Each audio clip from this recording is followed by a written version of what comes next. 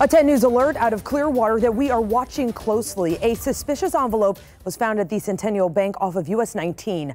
Hazmat crews have been called to the scene, and that's where 10 News reporter Liz Crawford is right now. And Liz, investigators say a former employee left that envelope. Well, it could be a little while before things get totally back to normal here at Centennial Bank. There's a couple sheriff's deputies still hanging around after a very unusual hazmat situation earlier this afternoon.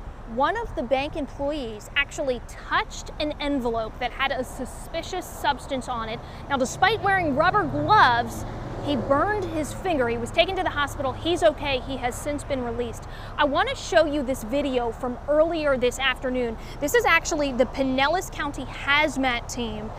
Bank workers called 911. So police, fire, and the hazmat crew showed up to investigate.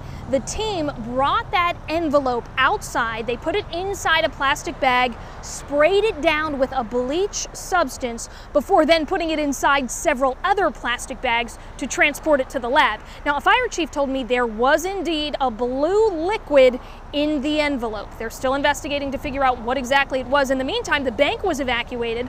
The workers went into a nearby business just to get out of the heat.